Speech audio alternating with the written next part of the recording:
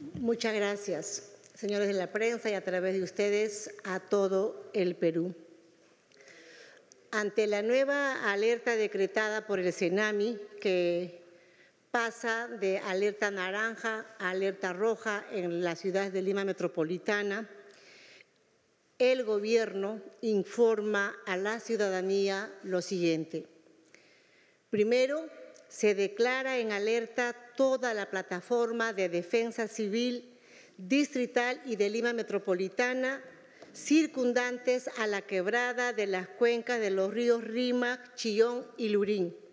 Segundo, se declara en alerta permanente al personal y medios de las Fuerzas Armadas y la Policía Nacional del Perú para asistir a la población afectada en los lugares donde sea requerido. Tercero, se suspenden por 24 horas las actividades escolares y universitarias. Esta suspensión alcanza a alumnos, alumnas y personal docente y administrativo de las instituciones educativas, públicas y privadas de Lima Metropolitana, Región Lima y el Callao. Cuarto, se dispone el trabajo remoto en las entidades del Estado con las excepciones del personal mínimo que decida el titular del pliego, se invoca al sector privado a implementar igualmente el trabajo remoto. Quinto, el Ministerio de Salud y las autoridades regionales de salud garantizan la continuidad de los servicios de salud a nivel nacional con la máxima disponibilidad de sus recursos a fin de hacer frente al posible incremento de atenciones a la población. Sexto, la SUTRAN, con el apoyo de la Policía Nacional del Perú, estará presente en todos los terrapuertos o terminales terrestres de Lima Metropolitana para exhortar a la ciudadanía la postergación de sus viajes. Asimismo, se dispone el acceso restringido al Aeropuerto Internacional Jorge Chávez. Solo podrán ingresar los pasajeros que cuenten con su tarjeta de embarque.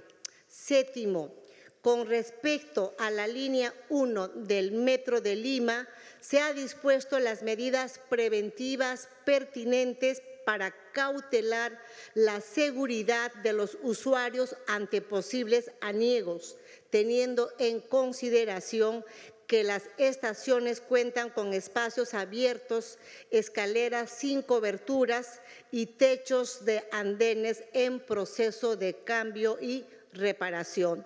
Octavo, Sedapal funcionará con su servicio regular y en caso de ser necesario activará el 100% de los pozos de reserva también brindará el servicio de camiones cisterna de ser necesario. Ratificamos nuestra permanente coordinación con los tres niveles de gobierno. Continuaremos informando a toda la población peruana de manera ininterrumpida.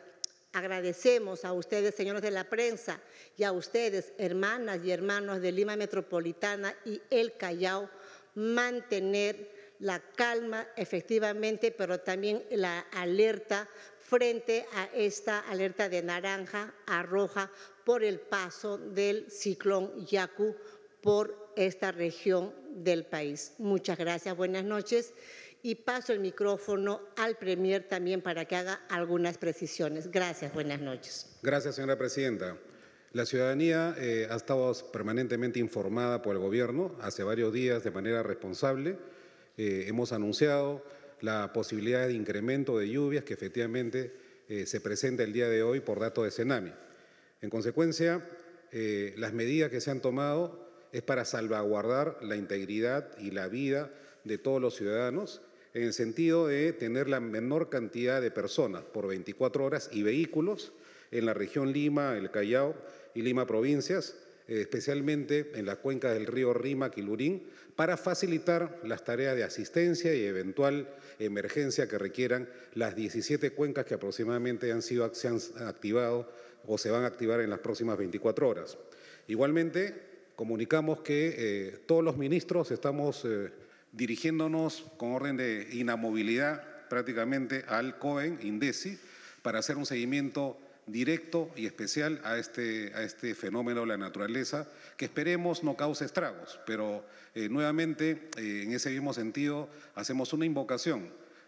todos los señores alcaldes distritales de las zonas involucradas ya han activado esta alerta roja, están trabajando con la ciudadanía, especialmente con aquella población que está en las cabeceras de cuencas, para que puedan retirarse, replegarse y hacemos esta invocación que es muy especial y directa a la ciudadanía para que en coordinación con la policía, sus alcaldes, defensa civil y las Fuerzas Armadas podamos cautelar la seguridad y la vida de todos los ciudadanos de Lima. Muchas gracias, señora presidenta. Gracias, Premier. Le doy el micrófono. Si tenemos a, nuestro, a la ministra de Vivienda, por favor. Gracias, Presidenta. Gracias, Premier. Gracias a los medios de comunicación.